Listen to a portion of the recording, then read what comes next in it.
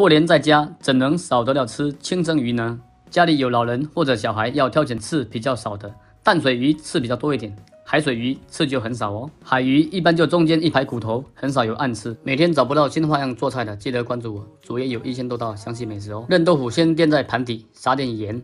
话说点心是情分，不点是本分。我教学这么详细，相信你会支持我的，谢谢。在鱼的表面撒点盐，又有专业人士要点评的，蒸鱼撒盐，你是认真的吗？这样鱼肉会变老。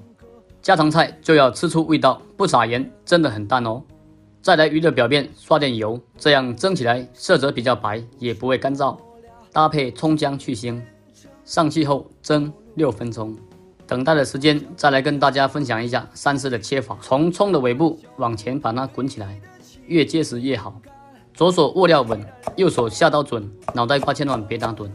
再来切点红椒丝，搭配生姜丝，蒸鱼的三丝就搞定了。